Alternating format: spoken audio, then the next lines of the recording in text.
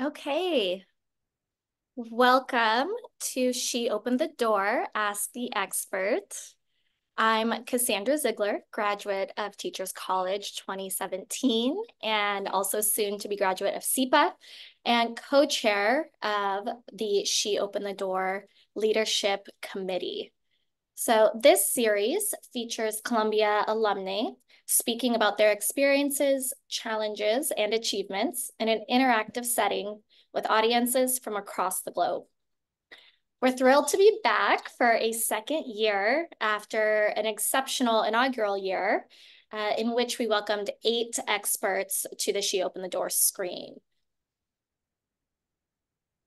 So now I am very, very excited to introduce to you today our extraordinary guest, Sisters Alicia Serrani, 2013 Barnard College, and Isabella Serrani, 2016 Barnard College. Alicia is a lawyer and social entrepreneur, starting her career in investment banking at RBS and Morgan Stanley. She got a law degree while launching several new ventures spanning art, politics, artificial intelligence, and fashion. Currently, Alicia is CEO of sustainable fashion brand Twin, that's what I need, and COO of pro-democracy organization NEA.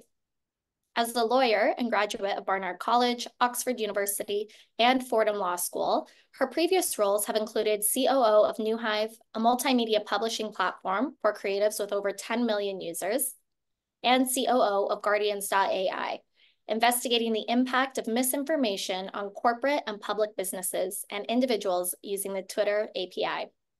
Her work has been read into the Congressional Record and featured in the New York Times, Vogue, Teen Vogue, Bloomberg, and BuzzFeed. Now, Isabella is also the co-founder, designer, and creative director of the fashion brand Twin, a sustainable, radically inclusive company that spans race, gender, size, and ableism through broader representation and thoughtful design. She graduated from Barnard with a BA in art history and started her career in the arts in the Tino Sehgal piece, This Progress at the Guggenheim, which is recognized by Complex Media as one of the 50 most iconic artworks. She continued her work in the art world at the Metropolitan Museum of Art's Met College Group, the Williams Society, and then at the Apollo Circle, organizing educational and fundraising events. Subsequently, Isabella gravitated towards brand building in the fashion industry for companies like Elite World Group, Misha Nonoo, Liberty of London, Full Booty Bands, and Canada, Canada Goose, to name a few. As an activist, Isabella has created projects from hashtag Get Behind Us, featured in Teen Vogue, Elle, Bustle, and more, to Masks for the Masses, featured in Vice. She's also been featured in the New York Times and Vogue. So as a reminder, this is an interactive discussion. So near the end of today's conversation, we will have an open Q&A. Throughout the discussion, you can use the Q&A feature at the bottom of your screen to submit a question, and we will get to it during the discussion section. All right. Well, Alicia and Isabella, welcome. I am so, so pleased to have you here um, as friends, as our first guests for year two of Ask the Expert. Um, we have had many conversations, and so I know that the audience today is in for a really special treat.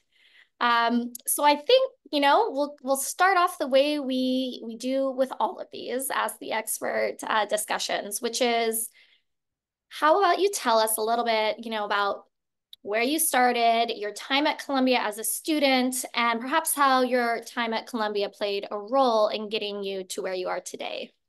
Yeah, absolutely. I mean, firstly, thank you so much for having us and also just being an incredible friend. I mean, it's amazing that you came to us through Twin. So it's so fitting that we're here today talking to the Columbia community about Twin.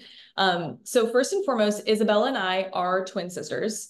Um, the reason it's worth pointing out is because as anyone with eyeballs can see, we don't look anything alike. Absolutely nothing. So um, one of the fun things about TWIN, which I think is not super obvious at first, is that it's actually an acronym that stands for That's What I Need. And partially that was because we are disappointing twins. Um, oh but it's also, you know, just a general kind of promise that we make as a brand. But how we all started in New York and how we ultimately met Cass is by going to Barnard College. Um, we my, both went. We both went. So despite being bad twins, we obviously like had the same choice in excellent, excellent choice actually in university. Um, but yeah, my journey at Barnard, I would say, is pretty typical Barnard. Um, I'm we're both like very gung ho Barnard students. I came in thinking I was going to study philosophy. That's exactly what I did. I was philosophy political science double major.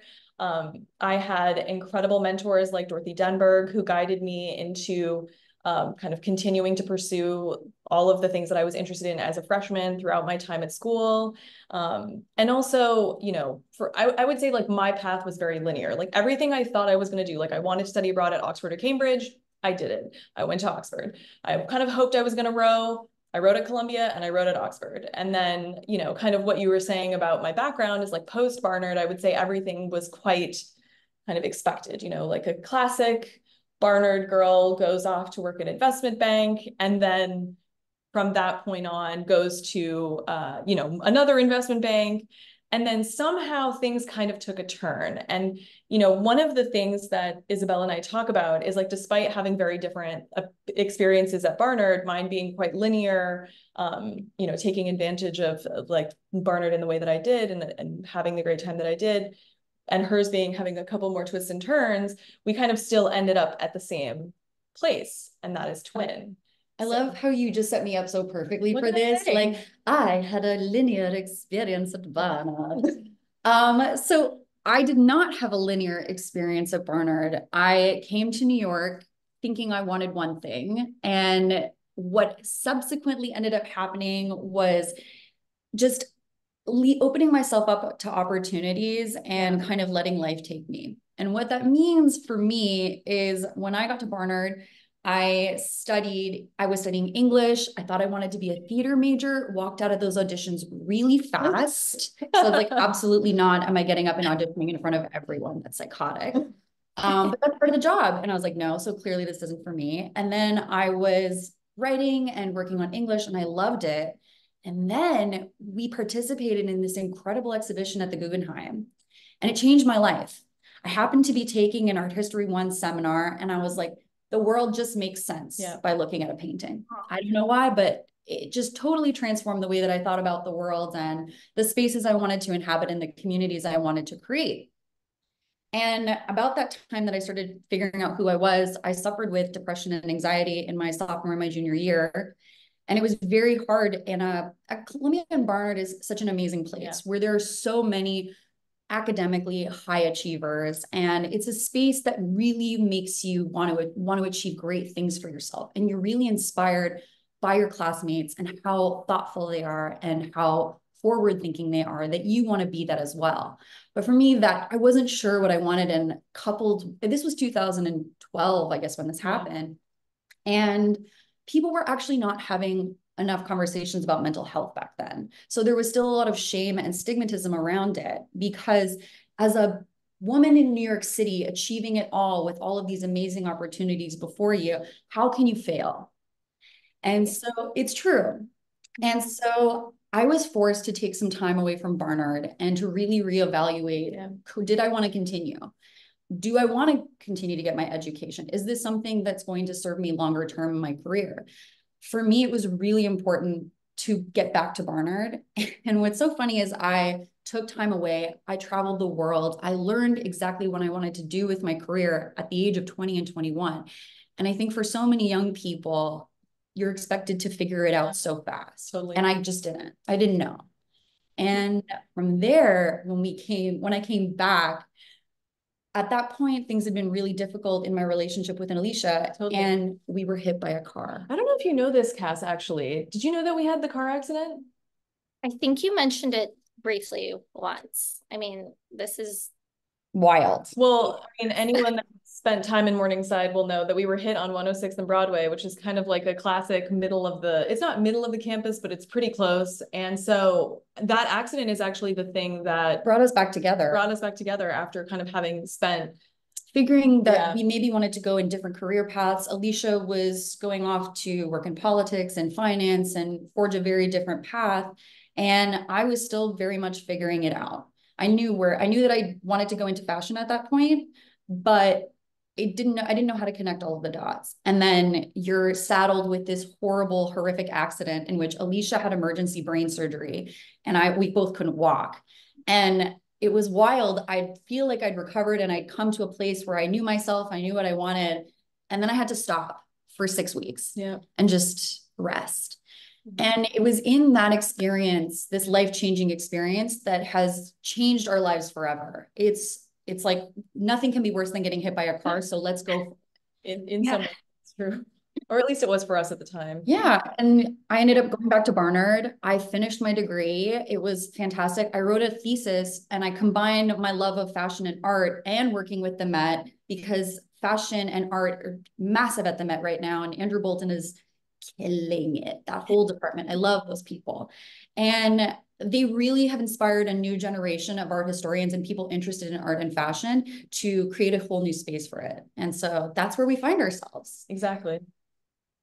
Thank you both for sharing that. No, truly, you know, I think, especially for uh, the audience members, right? And there are people listening who are everything from current students to, you know, long into their careers. And um, everything you just shared, right? Like, not only is it a magical, like, I, I, a great story about sisters. I have three sisters of my own. So I know what it's like when you kind of go your own paths and um, when you come back together. So that is just, remarkable. I mean, I'm sorry the the reason that maybe kind of kicked that off.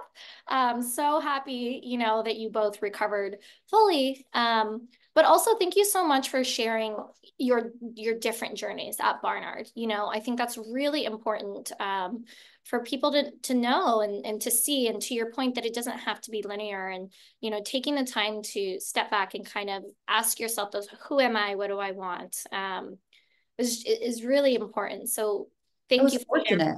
I was really fortunate that I had an amazing system around me to allow that. Not everybody has that, but I took advantage of it and I did everything I could to make sure that I set myself up in life so that I was happy, fulfilled, and ultimately able to achieve the things that I knew I wanted. So yeah. it was it wasn't easy though. It took me 10 years. Right. Yeah.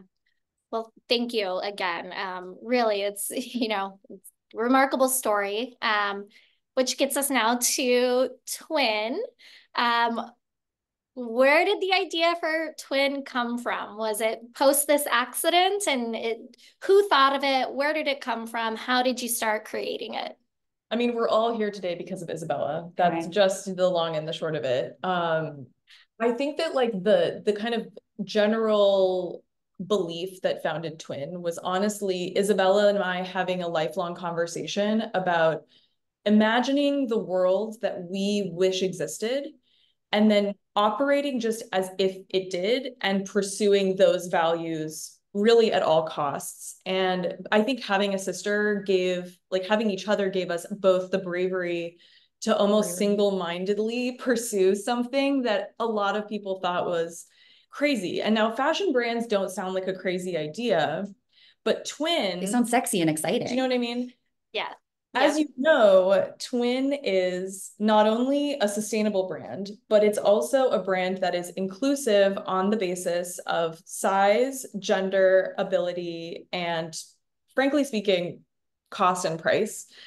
So for us, when we were concepting out Twin, it's obviously deeply about the two of us being twins, being sisters. We're sister people. We attract sister people. Unsurprising that we found you and you found us. Yes. Um, but in addition to that, the reason twin is an acronym for that's what I need is because it's actually a promise that we make in that we're actually going to think about the values and things that other people need and try our best to do that. And that's kind of where the values that we described kicked off because it was a conversation of, okay, well, what are we going to do? And like, what do we need? And then it was like, oh, well, twin is what we need. And that's in the name. So therefore, twin. Yeah. For me, the reason why I wanted it to be called twin specifically is being a twin is something that is so fundamental to the two of us. And we've been able to definitely, we have this incredible relationship. And because transparently, I asked this brilliant entrepreneur academia woman to be my business partner. I approached her. I, I'd always had it in my head that I wanted to work with Alicia on something. And over the years, I have definitely been like, hey, I got this, we've got these ideas and we have these creative projects and we would always work together. But yes, I did have the dream of being in business with my twin. Did not think it would be called twin, didn't know what it would be called.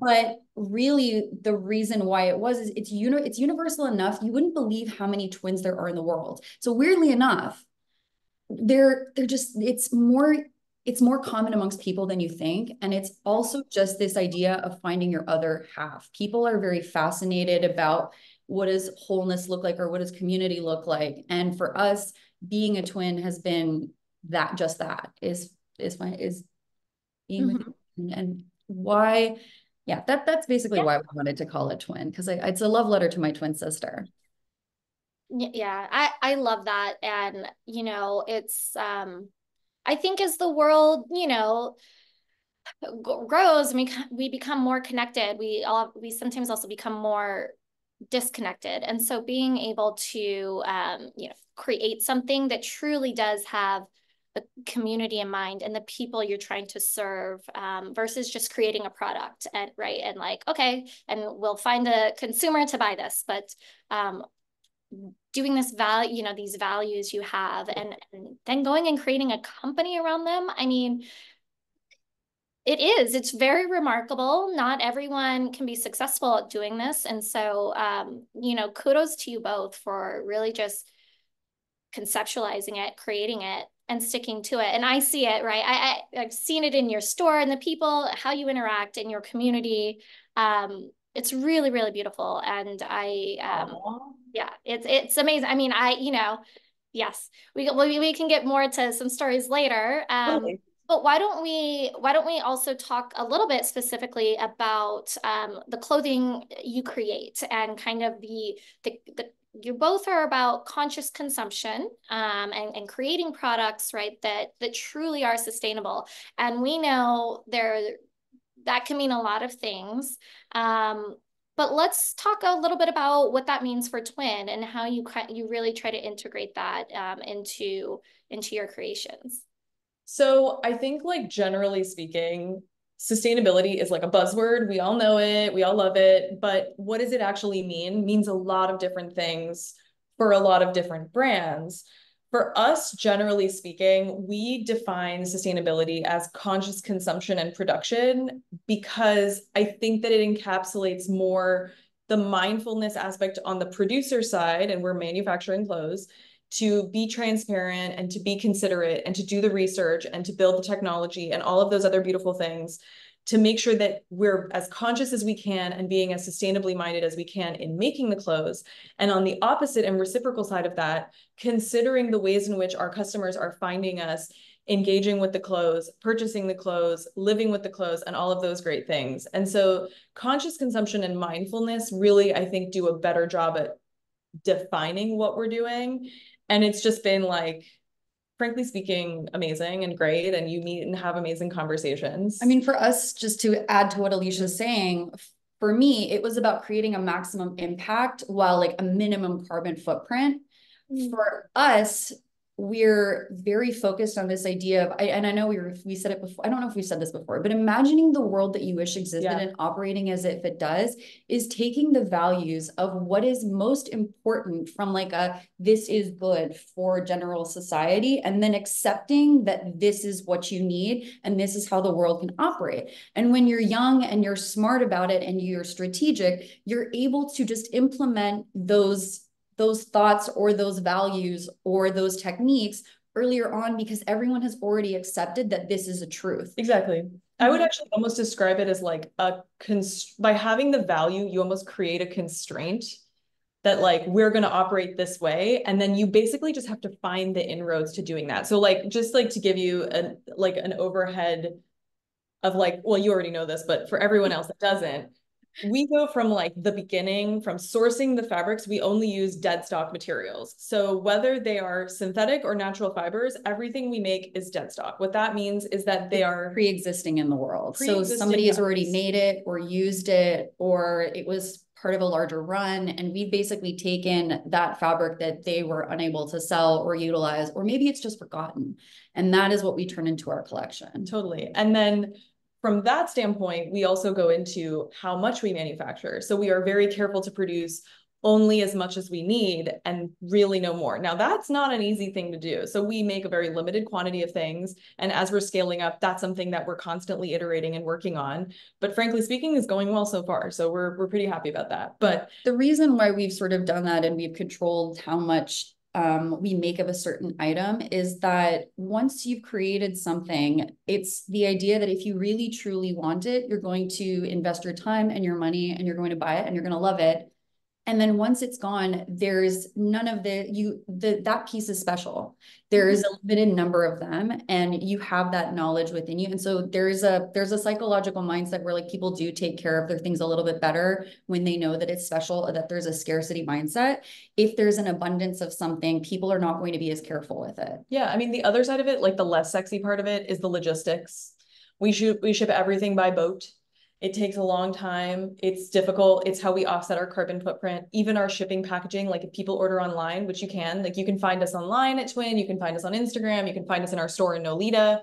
Um, but the real thing, the real point there is that we like all of our packaging is either well, it's all fully recycled. Oh, she is better. Oh, I know. Oh, well, yeah, yeah, when we first it. started, when you're creating when you're creating systems and you're like you can say like, okay, cool I'm creating a system. For example, when we wanted to create our shipping and logistics, I, because of the background that I come from, one of the things I was working in is marketing and working with influencers and dealing with packaging. So you're sending huge packages to people with tons of beautiful bows and ribbons and paper. And that's quite terrifying. And so when we were thinking about our shipping and logistics, I wanted to use materials that either could be fully reusable, fully compostable, or like these were recyclable. Like, oh God, whatever we were adding to, especially in the pandemic where we were receiving so many packages and boxes and everything. That really gave me a it gave me the time to think about it. So yeah. basically, like to go back to the maximum impact, minimum carbon footprint, like we literally go through every part of the process of manufacturing, shipping, bringing it in, delivering it, everything, and try to make things as sustainable as possible. And we're super transparent with how we do that. So like if you go onto our website, our sustainability is like one of those that cascades down. Like you click a link and it just grows, and then you click another link and it grows. So you know, I think for us, as much as there is that the conscious consumption thing for us, it's very important to also be, I mean, we're twins and we're Geminis. Communication is key as much communication and information and storytelling as we can provide, we do. And that's actually one of the best things about being in store with, as Cass will tell you, every piece has a story from why we made it to what inspired it to how it's made. But it should. It should be made that thoughtfully with that intention. Why not? People are so picky about the clothes that they put on their body. Like, why not? Why not answer some of those questions, if not all of them? Totally. Yes. So I completely agree. And I, I love that you're explaining all of this in detail because I think you know there there's always this kind of over this this narrative out there that um, well if you want to be sustainable or if you want to be values driven if you want to be conscious about the way you're doing business it though that and like having a profitable business or like those models don't coexist. But they do. They just take a little extra thought, right? Maybe a little extra time, um, but it's very possible. And so, you know, you guys are a great example of that. You, you can do both and be profitable um, and, and have fun, right? Um, fun. So, so I, I, do think I will say this just overarchingly, Cass. Yeah. I think there is like a view of capitalism that's winner take all and i think that that's like great. And it's the in some ways it's a version of the american dream that's like really important. And i we, we're you know we're running a business at the end of the day and that's part of it. But there is a way to also run a business and be conscious and mindful about what you're putting out and building into the world. And like tons of rocks of twin on sale is just not the vision. It's why we don't go on sale as you well know. So it's kind of one of those things where to your point if you imagine the world looks a certain way and then you just operate as if it does, it doesn't mean you can't have some flexibility or be profit minded or be business minded. It just, it's about, again, how conscious and mindful you're doing the things you're doing to be profitable. But I think also which comes into conscious consumption and sustainability is also thinking about compassion and mm-hmm. like the ways in which we're trying to reconnect with our humanity And part of that is being kind to the ways in which we have to retrain our brains into modes of thinking that have, ex- there are systems that have been in place for hundreds of years. So we're, it's, Yeah. it's exciting. It's, it's So that is that is definitely a thread I want to pull on a little bit later. Um, is kind of like how do you educate your your customers, right? Before we jump to that one, I would love to. So now that we really know the background of how you source everything and how hands on you are with it, um, Isabella, I know you're kind of the designer of the two. So, um, how does so how do you now as, a creative person, right, and the designer, um, how, what's your process? Like, how do you find the dead stock first? then you're like, okay, this is a great color. I like it. I'm going to create something with it. Take us a little bit down the, the creative process. I am a very selfish woman. That's okay. So like it that. starts with me because I, how I came. She's a selfish but honest one, I'm a I guess. selfish but honest person. Self-aware. Self-aware. Hey, I'm just being honest. But what I'm trying to get to the point of that is I started with myself. I'm a curvy woman. I'm between a size 16 and an 18. I don't fit in straight size. I have a very difficult time shopping in store. I have become a super sleuth shopper. I have a whole system and it's psychotic. And there's a certain point at which there are so many people like me who feel like they have to hack the system or figure it out. And people are so overwhelmed by all of this information that they're being given that for me it was like okay what do i need what do i want what do i want to wear and so it started with asking those questions and i think that that's where it always should come from is like it has to start from something that you think is useful and that you would need and then you have to hope that everyone is also going to need this thing and nine times out of ten they do so i start with myself and i have a lot of issues i have boobs i have big arms I would have say considerations, not fun. issues. Assets. Yeah. assets. We But love Yes. That's what sisters are for. can, you can hear my like coded, you know, trained Yeah. body dysmorphia training coming out. Woo, I haven't worked in fashion for a long time. Built an environment that was supportive of your values. Truly. So for for me, because I have all of these curves and swerves and bumps and lumps, I when I start with when I'm creating something, I'm like, okay, it has to look good on me. And I have a and I have what I would call like a very curvy, swervy body. Whereas when I would look at Alicia, who is a typical size six to an eight, I mean, granted, she's got curves and swerves and lumps and bumps, but oh my God, okay.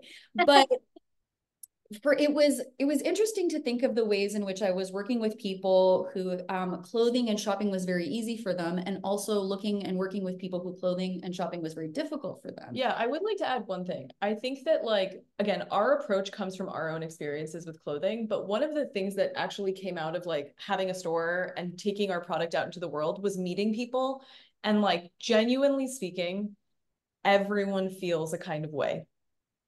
I've never met someone that for whom shopping was like easy, chill vibe, no problem. Like what I'm describing to you is a daily occurrence at Twin. Exactly. And so like I think starting with your own considerations and not seeing those met by the marketplace or not seeing them met with all the values that we have in terms of sustainability or affordability is another really big one. We kind of I- think like Izzy specifically was like, this is what I need to do. But for instance, like little things came out of it, like Well, that's where it started. But totally. but then like when you were when we were, for instance, like with gender inclusion, which is like a big, big thing for Twin. Um, one of the things that we noticed off the bat was that when when Isabella was picking early styles for the collection, she was looking into her closet and, and I had a lot of menswear. yeah, gender like when you shop vintage or when you shop in the real world, like you borrow your parents' clothing, you take your dad's blazer, you take your mom's skirt, and you put it together. And so for us, we never really saw. I mean, real Like never is- mind borrowed from the boys. I just went there, took it for myself and put it on my body and now it Totally. mine. and mm-hmm. clothes don't have gender. So our version of like, you know, we call it gender inclusion as opposed to gender neutral as an example, because we see gender neutral as neutralizing the experience of gender into a specific look versus the twin approach, which is like, if you're going to play with all the colors, like play with all the colors. Like if you want to, when we shoot, for instance, like in our campaigns, we'll take photographs of like skirts, dresses, pants, blazers on everybody, male, female, non-binary presenting bodies and mm-hmm. giving people the permission by seeing a model in whatever piece they want. It, it almost like opens the door for other people to see themselves in that reality and again that's just part of the twin thing like imagine the world you wish existed and then just like make it so um I'm I mean, I'm sure Isabella has like 800 examples Oh, of like how that's the case. It's true. So I mean, uh, like truly with going back to me, because I'm numero, oh no, my God, I, this is so ridiculous. Love it. There are just things that when you, ha- when you're forced or when you have the space to think about it and you have time, the ways in which clothes fit and look and make you feel are so, so important. And so as much as it is a physical thing that we're selling, I'm trying to, like, you're, you're dealing with people's feelings and emotions and how they feel about themselves and the identity that they're trying to project forward. So it's, it's exciting. I mean, like just like one really like it's an example that we, I mean, sweater weather is about to be upon us, so it is worth Yeah. mentioning. I'm actually wearing it. For instance, Izzy has eczema.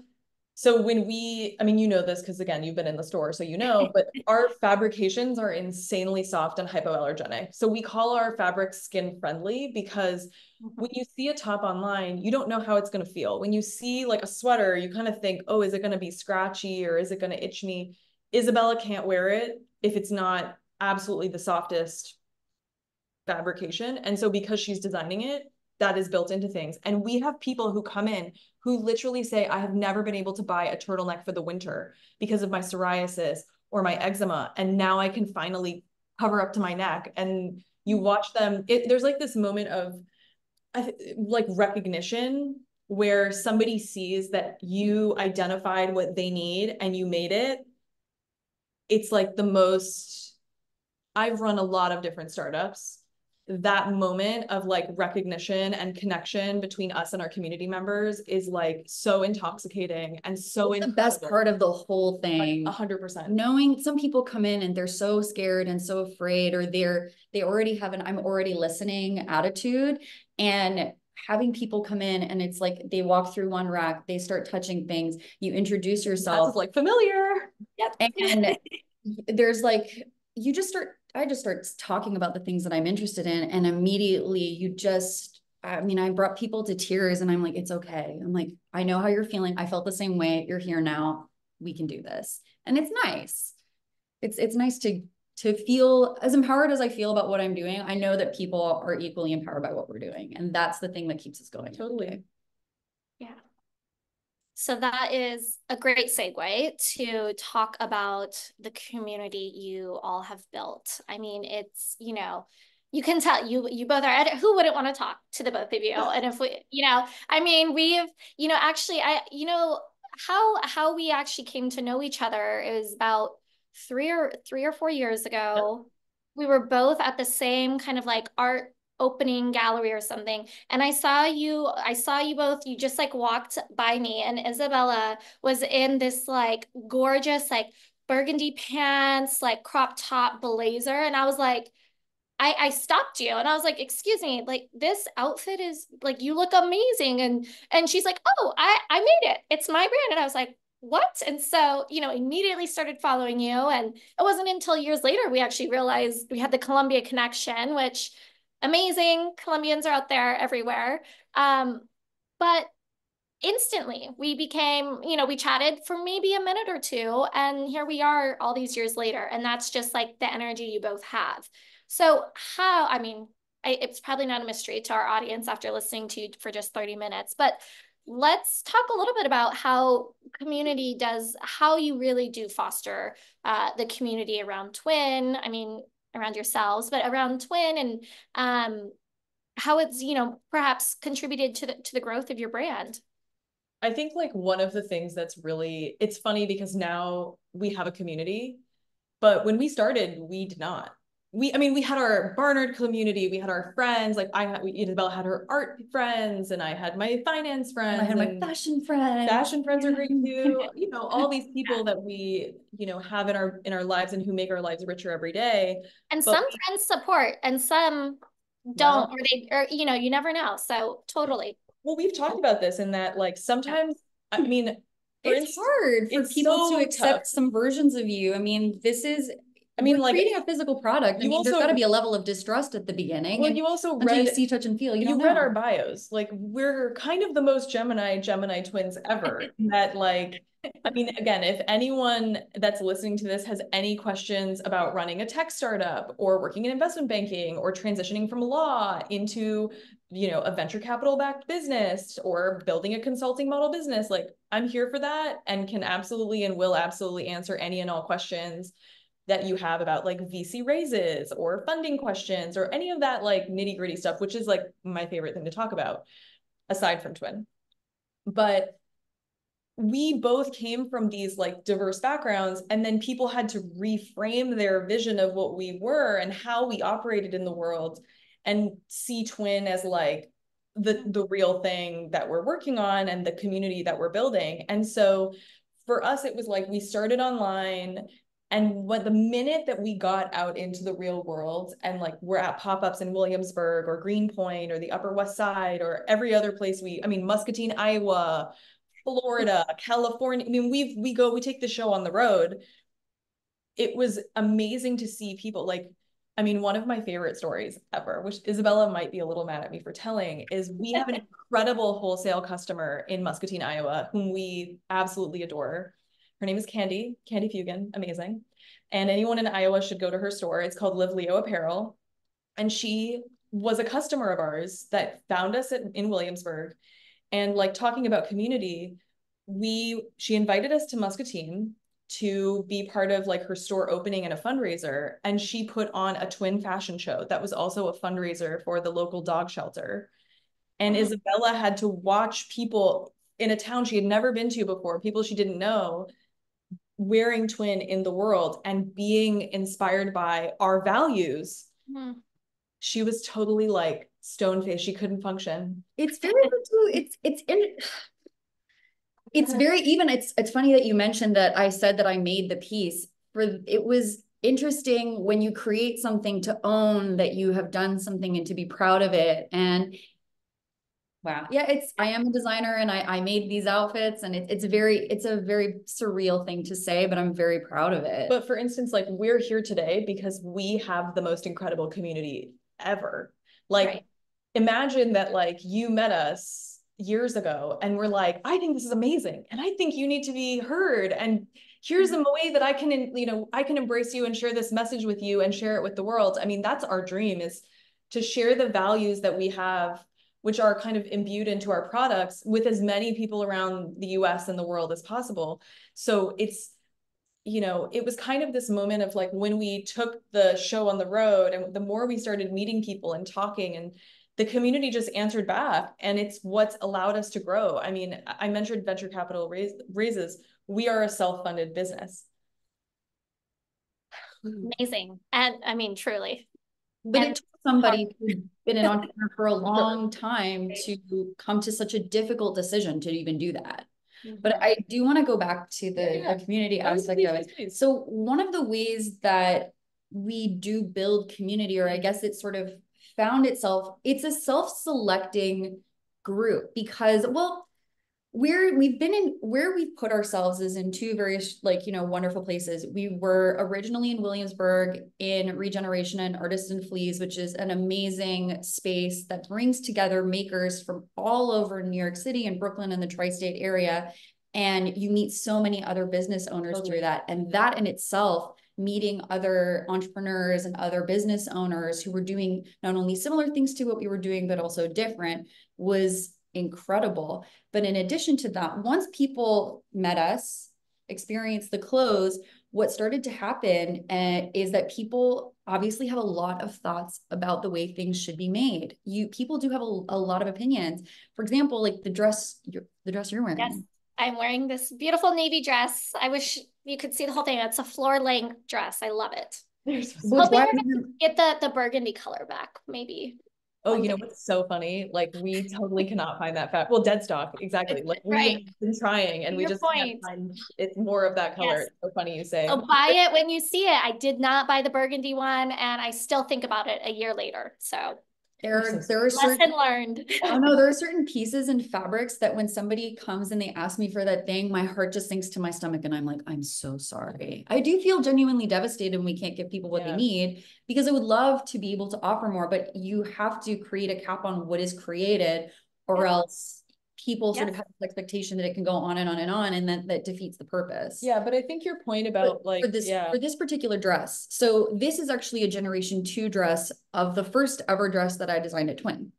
How it came about was we created this phenomenal bias cut like um spaghetti strap dress that just it hits. It's amazing. When i say it hits it's just like it doesn't it's matter the, it's the rose one that you have Oh, yes, yes, yes. We're really going into it. Alicia's getting into the customer profile sorry, here. Sorry, sorry.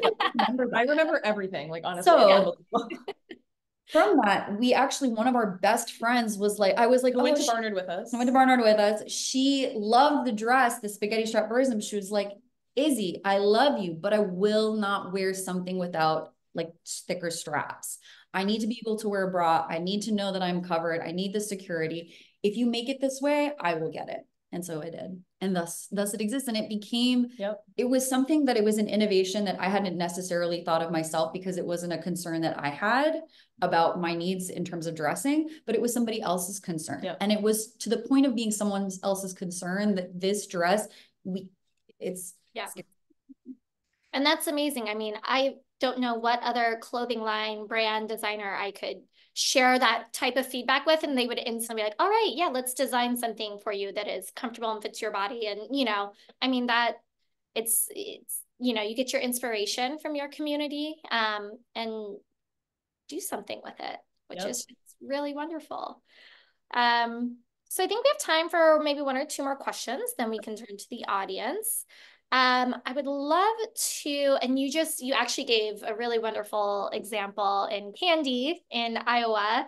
Um, but uh, as this is, you know, she opened the door, we um, love to particularly highlight, you know, women uh, on our platforms. Um, so I'd love to, you know, if you have anything to share, talk about maybe about how um, women in particular have helped, you know, contribute to um, either twin or you know other thing other you know other way other things along your journey um yeah. and pathways I mean, I think one of the things that I, it, it kind of goes into how Twin is expanding, but it actually is more about like what we were talking about related to like how the US like cap when people think about entrepreneurs basically when you think about like American capitalism you think about like Jeff Bezos you know what I mean? You're like this guy did it. He's doing things. But actually as we've been expanding twin we've realized that the backbone of American retail is not big retailers. Like they are definitely important and there's absolutely no question about their value in terms of giving people access but a lot of the small businesses in small towns across America, specifically like retail businesses, are family run, traditionally women led businesses. And so, uh, in the process of actually building out Twin, we've been developing these incredible relationships with women like Candy. And there's other people across the country that I could name literally because I talk to them so frequently, who are so incredible and are pillars of their community and who are keeping they basically go out into the world to places like New York, but to you know cities all over across America, find designers and brands with values like ours, and then they bring them back to their communities and say, "This is what we discovered, and this is what we want to share with you." And it's one of the, th- I mean, if our dream is for the twin values of inclusion and conscious consumption to be as many places as possible, these people and these businesses are the vessels for that. And they're actually the people doing the hard work. And so it's been amazing to see just truly how the fabric of the American economy is so empowered and powered by women and that we're just one part of that. And of course, big cities like New York, you are kind of spoiled for choice. You can have like very specific criteria about how you want your products, why you want them, all sorts of things. But when you go back into smaller towns in America, there really aren't as many options. And so these people are just these women are doing this incredible work and sharing, for instance, our message and the twin mes- message with their friends, their community members. It's just like the most fun thing ever. And like, you know, shout out to them for really just, I mean, being incredible. And it's, you know, it's funny. It's, it wasn't something that I or Isabella totally considered. We didn't anticipate or expect it, but yeah. Yeah. Well, you attract a wonderful community. You've built a wonderful community. Um, what's next? What's on the horizon for Twin? And maybe what what do you have the ultimate goal? Is it kind of one step, you know, one foot in front of the other right now? What's next? I think to a certain point we're it's it's hard. I mean, because we're value based and we're focused on conscious consumption and putting in all these values, you know, for us, we're trying to figure out the best way to spread our message to as many as as many people as possible without alienating them. Totally. So it's a bit like oh, what's that thing you say that's like so good? It's about the vegetables. I'm always like put the broccoli in the mac and cheese. Like you know when you put oh, vegetables in something yeah. to make it a little bit healthier, but it's still yeah. good. Like yeah. there's still cheese and there's still bread, but this broccoli is not so terrible in it as well. It actually makes it a little better. So that's how we try to think about it is like, how do you make something accessible, cute, fun, worth it, but that also, you know, does speak to who you are as a person and the things that, you know, makes you tick. I mean, it's funny because you asked us this question and the very obvious answer is like, we're launching our first ever tote bag in like a few oh. days. That's Isabella designed the shit out of it, excuse my French. incredible. And it's made of upcycled greenhouse garden tarp. And that sounds crazy, but it's sounds amazing. It's cool. It's I, spent, I cannot wait to see it. No, you're gonna love it. And so will everyone else. And so like that's coming up next week. And then we have our fall launch. So we have an entire collection that Isabella designed that is going to be launching in a few days. So, you know, that's happening. But I mm-hmm. think like on the grander level, like what Isabella's kind of, and you know, I think like more wholesale customers because more people telling the great message of twin. And you know, yeah. we would love to do like a collaboration with someone that has the reach because I think one of the things that you know New York has been amazing at is like we get people from all over the world who come into our store when they're visiting New York and they get a a very authentic experience as we've been living in New York for 15 years despite being Canadian. So they're really getting a New York business. Um, but at the same time they're getting a sense of like what we're trying to build and their message and they're bringing it home with them. So like doing things more things that would allow us to tell the message to a bigger and broader audience is definitely something that we're doing. But like even for instance like we launched a youtube show um a few weeks ago. We kind of soft launched it. That's all around. It's kind of like what not to wear. But it's Isabella and I, instead of telling people how they suck at fashion, it's actually asking people what they would never wear and asking if they'll let us try to change their minds. Oh. But you would love it. Like it's really cute. So can you give us a little sneak peek? What are what are, what's one of the examples perhaps? Well, so over to the YouTube channel. the next one that we're doing is actually around somebody who has particularly large boobs, but actually loves to accentuate them and finding ways to do that in a way that feels, you know, structured and empowering and doesn't feel like you know, uncomfortable or too revealing. Yeah. And so we actually style different outfits of twin and let them compete. We actually compete to see who's they whose outfit they like better. Ah, okay. Oh, that's so fun. I love that. A little friendly sister, you know, competition. Keeps it interesting. Alicia is Alicia and I are a little bit competitive. And I think that's why we're constantly thinking about innovation and pushing each other to move forward because there's a there's a healthy little bit of, of competition that kind of keeps keeps the edge on things. Yeah.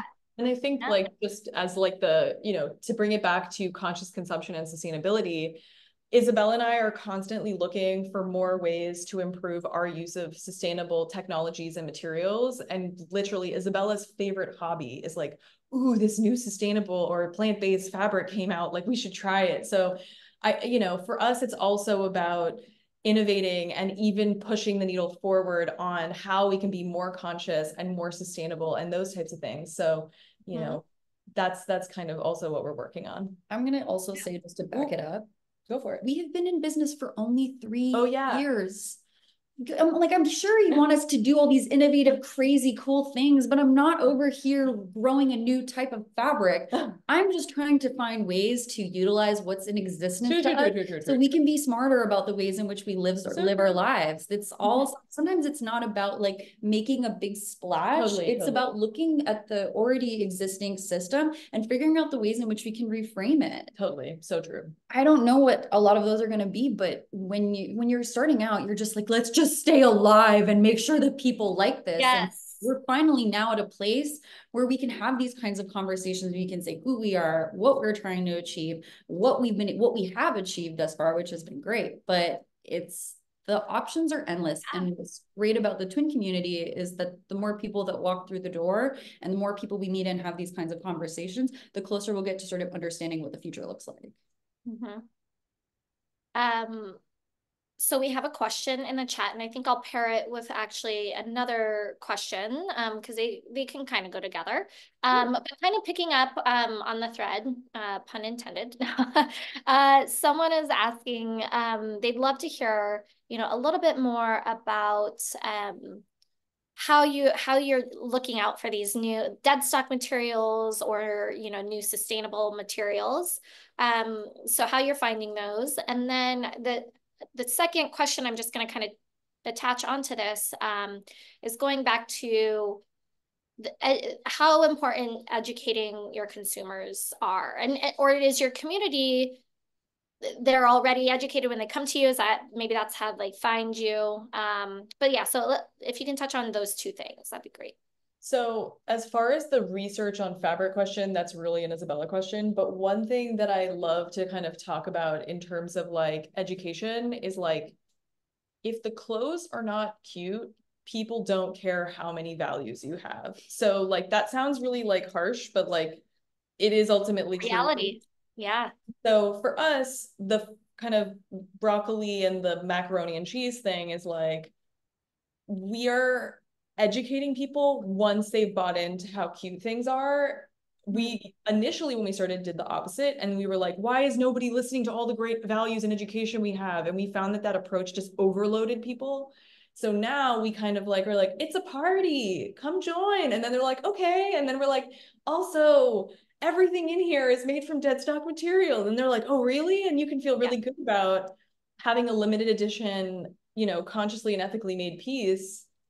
And so for us, m- I learning the kind of approach of like actually how to educate people has been like once we started figuring out that like being friendly and open was actually a great segue into education and teaching people about the values, we kind of like we're like, okay, cool, like this is actually the right way. So that's how we do it now. Approachable and non-judgmental. I think so, so yeah. smart and it seems so obvious but until yeah I am going to, I'm going to, I don't know if this has been uh, mentioned at all. We are from Canada. So there is something about um, being Canadian and being nice, whether or not that's true. We definitely do Yeah. take it to heart and we try to apply that to people who come in because they're not, they're, they're coming in for a discovery, for an experience and kindness is really just the way you approach things. Yeah, and the research and fabric question is like Isabella's constantly So- researching. Yeah, so I went to Barnard. You think I don't research? Come on. That's where it's coming from. It's like it's all it's like a beautiful mind. I don't know how else to describe it. I re I'm constantly, I'm always listening, I'm always looking, I'm always doing research. And the research can come from I'm going to fabric shows, I'm looking at what other people are doing, I'm reading a ton of materials Yeah. about innovation in fashion and fashion business. There are so many great resources. I mean, the best thing that you can just start to do if you're looking for those kinds of resources is just asking the right questions. Yeah. What do you have available? Totally. What where what is what is working for you? What isn't working? And you with me with the fabrics in particular, I get swatches. So I get, I either will go and I'll meet with different factories and I'll say, hey, what do you have? What can I see? Or if I'm creating a specific, so for example, when I was creating the perfect t-shirt or the perfect shirt, there were specific criteria that I was looking for in the fabric that I wanted. And so I would go and I looked at different brands that I loved, that I didn't love, tried on a whole bunch of Yeah. them. And I took all of that research and I, and I like sat down with it and crafted what I was looking for. and figured it out and then went out and did my research about my fabrics and it's just constantly yeah. innovating and changing and working on it. There's there's no secret sauce. You just have to you just have to do your research. It's the things that they taught us at barnard and columbia are still relevant today. And the number one thing i always see people is like do your research. 100% it's the best. Um well i am really sad to say we're already at an hour, which is crazy. We could talk for a whole no. another hour or even beyond. Um, so thank you both so so much for sharing your journey, sharing your you know experience creating Twin. Um, you're making me. I'm like I want to create a business with my sisters. Well, um, let me know. Okay, great. Um, but you know I think for those listening, right, I think what I would also take away from this is just having an amazing co-founder. I mean, it's very clear just throughout the conversation today, can kind of see who takes on which roles, um, but how you complement each other so well. So um, thank you for yeah, all the entrepreneurs, the sustainable fashion folks out there. Um, please, please follow and um, get in touch. I would also like to thank the She Opened the Door Committee and the Columbia Alumni Association for helping make today's session possible. Um, so please, if you would like, please connect with us here on LinkedIn. Um, also, Alicia and Isabella here are offering, you can find them at twin.nyc, also um, on Instagram, all the social channels. Um, but they are so, so generously offering a discount to uh, Columbia people listening in. So like you said, nothing, nothing ever goes on sale. So this is like a super treat. So definitely use this. Um, and to the audience, thank you for joining us and, you know, for your questions. Um, we're so excited to kick off year two of Ask the Expert. And, you know, we hope you will also consider volunteering and getting involved at the CAA.